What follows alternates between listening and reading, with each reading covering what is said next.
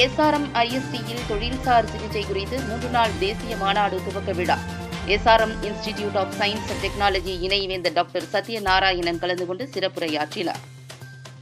செங்கல்பட்டு மாவட்டம் காட்டாங்குளத்தூரில் உள்ள பிரபல SRM Institute of Science and Technology நிறுவனத்தில் தொழில்சார் சிகிச்சை குறித்த மூன்று நாள் தேசிய மாநாடு துவக்க விழா நடைபெற்றது.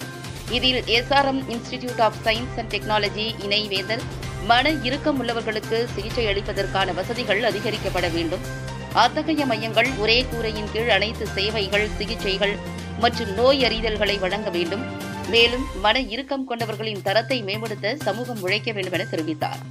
அகில இந்திய தொழில்சார் சிகிச்சையாளர்கள் சங்கத்தின் தலைவர் டாக்டர் பங்கஜ் பாஜ்பாய் ஆர்டிசம் மூன்று நாள் மாநாட்டை நடத்தியதற்காக அமைப்பாளர்களை பாராட்டினார். ஆர்டிசம் ஸ்பெக்ட்ரம் கோளாறு உள்ள குழந்தைகளுக்கு பயன்படுத்தக்கூடிய தலையீட்டிற்கான ஆராய்ச்சி பொருத்தமானது. இந்த துறையில் உள்ள அனைத்து பங்குதாரர்களும் நம்பிக்கையின் கலங்கரை விளக்கமாக நிற்பதாகவும் அவர்களின் அர்ப்பணிப்பும் உறுதியும் மிகவும் பாராட்டத்தக்கது என்றும் அவர் கூறினார். மாநாட்டின் ஆய்வு புத்தகத்தை அவர் வெளியிட முதல் பிரதியை டாக்டர் சத்யநாராயணன் பெற்றுக்கொண்டார் நிகழ்ச்சியில் எஸ்ஆர்எம் மருத்துவக் கல்லூரி மருத்துவமனை மற்றும் ஆராய்ச்சி மையத்தின் dean doctor Nitin M Nagarkar வரவேற்றார். துணைவேந்தர் பேராசிரியர் முத்தமிழ் செல்வன் பதிவாளர் டாக்டர் பொன்னுசாமி கூடுதல் பதிவாளர் மைதிலி மருத்துவ கண்காணிப்பாளர் வெங்கட்ராமன் மற்றும் மாணவர்கள் உள்ளிட்டோர் நிகழ்ச்சியில் கலந்து கொண்டனர்.